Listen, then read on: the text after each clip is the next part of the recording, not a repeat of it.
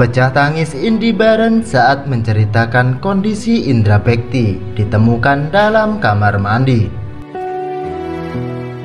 Sebelum melanjutkan pada videonya, mohon luangkan jari Anda untuk menekan tombol subscribe dan klik tombol loncengnya agar kalian tidak ketinggalan informasi dan berita terbaru dari channel ini.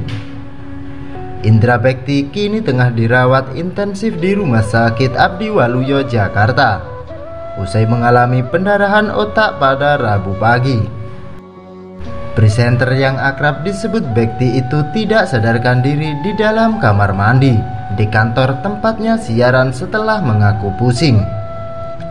Indi Beren sebagai sahabat Bekti pun langsung menyambangi ke rumah sakit itu untuk mengetahui kondisi terkini Bekti. Saat menemui wartawan, usai melihat kondisi sahabatnya itu, Indi bercerita kronologi Bekti mengalami pusing hingga akhirnya tak sadarkan diri di dalam kamar mandi. Tadi pagi Bekti siaran radio sekitar jam 8 lewat.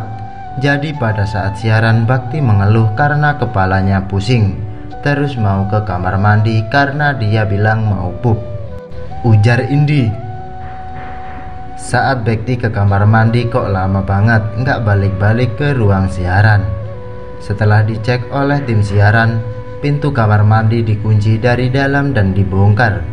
Lanjutnya, Indi yang tak kuasa menahan tangis itu berkata bahwa Bekti ditemukan duduk di kloset dengan kondisi sudah tak sadarkan diri. Memang begitu, lagi pup tapi udah dalam posisi tertidur, tidak sadar dalam keadaan seperti itu semua ambil tindakan cepat dan Bekti pun langsung dibawa ke IGD. Ungkapnya dengan suara terisak. Lebih lanjut, Indi mengatakan, Adila Jelita istri Bekti dan keluarga sudah berada di rumah sakit untuk menemani proses perawatan. Bila keluarga semuanya ada tapi anak-anaknya nggak ikut pasti shock lah Istri saya aja sebagai sahabat nggak kuat menerima situasi seperti ini Ucapnya. Mari kita doakan Semoga Indra Bekti diberikan kesehatan dan kelancaran Dalam menghadapi penyakit yang diidapnya. Jadi hanya ini saja yang bisa kami sampaikan. Terima kasih telah menonton video ini sampai habis Dan sampai jumpa di video kami selanjutnya